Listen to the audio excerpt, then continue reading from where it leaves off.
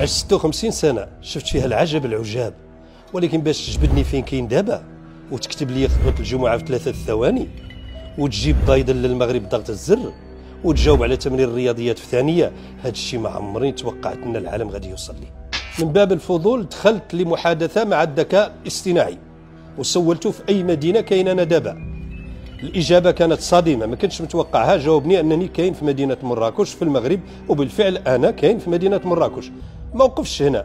مشيت درت أداة أخرى ديال الذكاء الاصطناعي باش نشوف واش هذا الشيء بصح ولا غير بروباغندا إعلامية. ودخلت وطلبت منه يكتب لي خطبة جمعة حول الرشوة والإجابة كانت صادمة. تصور أنه كتب لي خطبة جمعة كاملة بأحاديث وآيات قرآنية كتكلم كلها على الرشوة.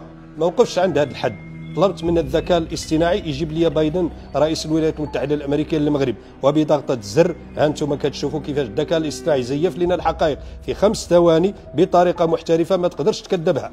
ما غنوقفوش مرة أخرى هنا. غادي نجيبوا هذه الورقة ديال التمارين الرياضيات المستوى الخامس ابتدائي وغادي نشوف الذكاء الاصطناعي واش غادي يجاوب لنا على الأسئلة بسرعة. وطبعا غادي نكتبوا ليه السؤال. وكيف ما كتشوفوا الجواب كان في أقل من ثانية.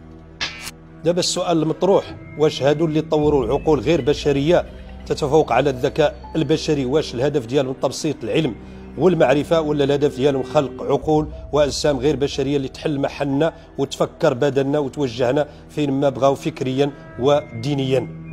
الغريب في هذا الشيء هو على أن مبتكر أو صاحب الذكاء الاصطناعي جيفري هينتون خرج تبرع من الذكاء الاصطناعي اللي صنع حيث قدم استقالته لشركة جوجل وصرح أن الأمور خرجت عن السيطرة وأن برامج الذكاء الاصطناعي ستتفوق علينا مستقبلا وعلى صانعها من البشر قريبا.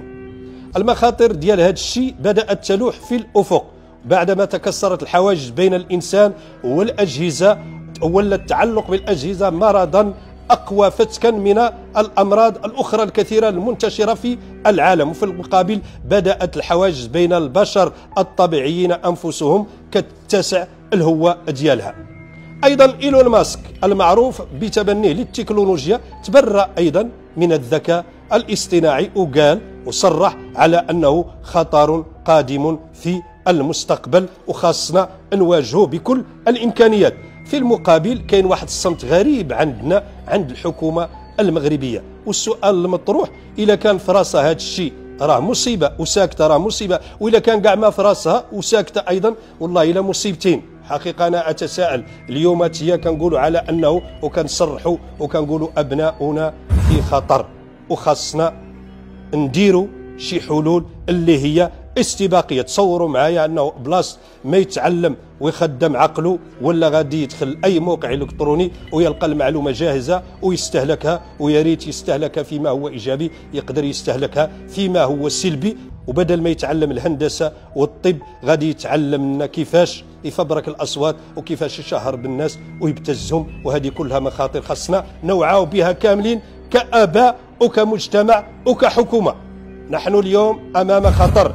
داك الشيء علاش خاص الحكومة ديالنا تتدخل وتدير مواد خاصة بالذكاء الاصطناعي في المقررات الدراسية وتنبه ابنائنا على أن استخدام العقل البشري هو آلية لا بد منها ولا يمكن الاستغناء عنها وإلا نتساءلوا كيف السويد اللي هي دولة كبيرة ومتقدمة في الذكاء الاصطناعي وفي في الرقم الرقمنة وفي غيرها من المواد التكنولوجية اليوماتيه كتقول على لسان وزير الثقافة ووزير التعليم على أنهم رصدوا واحد الميزانية كبيرة باش يشجعوا التلاميذ ديالهم على الرجوع إلى الكتب والأقلام التقليدية اللي تعلمنا إحنا بها جيل الستينات وجيل السبعينات. إذا السويد اكتشفت على أن لي طابليت وعلى أن هذا هذا الشيء كامل ديال التكنولوجيا خطر إذا حل محل الكتب. لماذا؟ لأنه بكل بساطة العقل ما تلاقي يستخدم كيتوقف كل شيء موجود هنا في هذه الآلية ديال الذكاء الاصطناعي وما علينا الاستهلاك. إذا كنقولوا كنأكدوا على أنه إذا كانت السويد قالت هذا الشيء أش غادي نقولوا نحن؟ إذا لابد من وقفة ولا بد من نديروا حلول مستقبلية. اليوم اللي كتكلمنا على التعليم وتكلمنا على المخاطر ديال, ديال اللي اللي اللي يمكن يواجهها الأبناء ديالنا بغيت نقول على أنه أي إصلاح اليوم إلا رجعتوا معايا ديال التعليم كيجي من خارج السياق ومن خارج منظومة التعليم.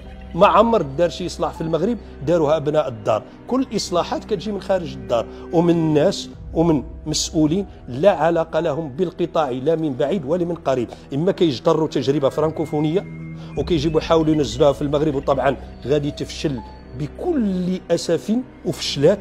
لماذا؟ لأنه الصين واليابان ومجموع كوريا الجنوبية وغيرها من الدول وماليزيا وسنغافورة هذو كاملين تطوروا. لماذا؟ لتشبتهم بالهوية ديالهم باللغة الأم ديالهم، اللغة ديالنا نحن هي اللغة العربية، اللغة الأمازيغية. وللأسف نحن مازال جميع الخطابات ديالنا جميع المكاتبات ديالنا جميع المراسلات ديالنا لا زالت باللغة الفرنسية. وهذا عيب شكلي خطير جدا. كنواجهه وزيد وزيد وزيد وزيد على ذلك. تحياتي لكم والسلام عليكم.